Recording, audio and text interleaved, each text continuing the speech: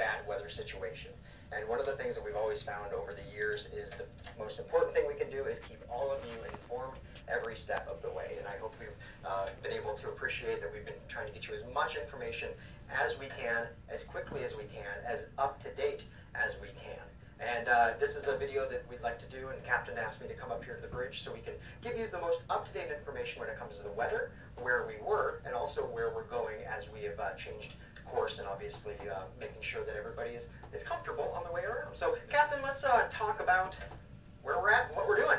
Thank you very much. First of all, I'd like to thank all the guests for for their consideration and the patience with the, in the situation that we were in. And I'd also like to thank the crew members for their fantastic job yesterday. Uh, it was amazing.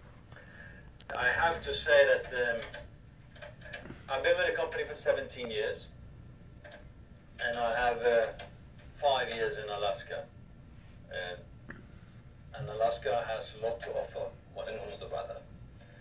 I have been doing the entire South America. I have several seasons in um, in Australia and New Zealand and uh, Vanuatu Islands as well as in Europe.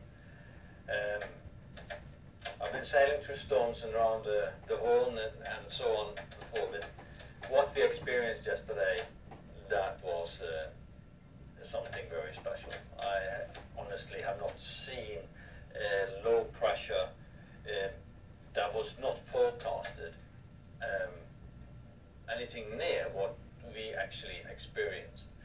When we, at 6.30 in the morning yesterday, I came up here to the, to the bridge and sat down with uh, some of the team members that had um, done the weather predictions and we looked at everything and we did a small alteration, as I told you, on the noon speech, that, uh, or actually at 10 o'clock speech, at noon speech, it became a 10 o'clock speech. And we went a little bit further to the west too, to give a little bit more room to that low pressure that was developing, of respect for this area where we are. But we were supposed to just have around 4 or 5 meters with seas, which is a 12, 15 feet, where for this vessel, well, it's... Uh, it's very doable. And 40, 50 knots wind, which uh, that was what we were supposed to have. And that was at um, at 6:30 in the morning. I talked to you at 10, so so then so then um, and everything was nice and dandy. And I remember that I came off the phone with um, with um, the Miami office at uh, one o'clock. I walked onto the bridge as the wind started to pick up and I said, you know, wow, there's there's uh, some lashes of wind here that be stronger than than um, than um, what it was forecasted, quite a bit stronger, mm-hmm. and it just didn't stop. It just was just like it, it, it, it just started to boil around us and just it developed it so developed quickly. so quickly, and that is the special thing, you know, that it, it just became so intensified um, in one, eight, nine hours, mm-hmm. it goes from being nothing to a full-blown storm. And uh, this is where, this is what you see it is at the moment. Uh, this pink that you have in here, that uh, was a little bit further down here. The whole thing was not bigger than this, and it was up here, and it just exploded. And we are not that many hours after uh, we're just 24 hours actually. Mm-hmm. So from in 24 hours, it has moved from being this to what you see here. It's uh, it's um, Mother Nature. It is. Uh, I'm telling you that it's um, um, a weird storm that we we experienced. Um, but the ship handled it very well. I must say, very well. Um, uh, yes, it was uncomfortable, very uncomfortable, very scary for many not only uh, our guests, but also our crew members that had not experienced this before.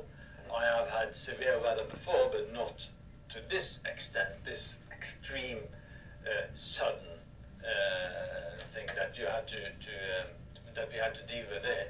So there was a lot of um, talks going around, but you know, for, for the professional team that was on board, I'm I'm extremely grateful for the ability to keep the heads calm, do what they're supposed to do, keep on with the job, making sure things are being done safely, uh, whatever they're doing, ensuring that they look into possibilities that may happen and so on in case we encounter this and this and this.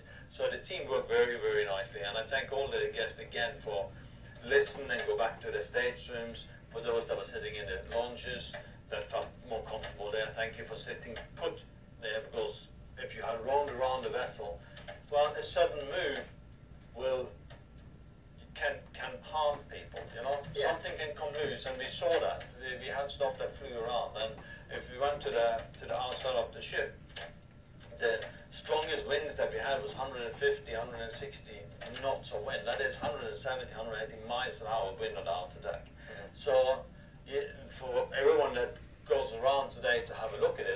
see that the wind has made some damages to to um, to the vessel, some impact there. We have some of our satellite domes that's the covers was broken uh, and, and, so on. So it's um, and on board the vessel that we had movement. So we have some hot plants that broke, and of course that looks extremely bad when you see that just all over the place. It's um, uh, so so all in all, um, I'm, I'm very pleased with with the, the, the ship and its condition. Very nice and safe ship. It's uh, it's less than a year old, and uh, no, this is the the third storm that I had this ship in. I had this. I took this ship from the yard. I brought it into service. I took it over to New York uh, when um, when we came over with it, and uh, and now I'm back on board again after uh, uh, a nice holiday.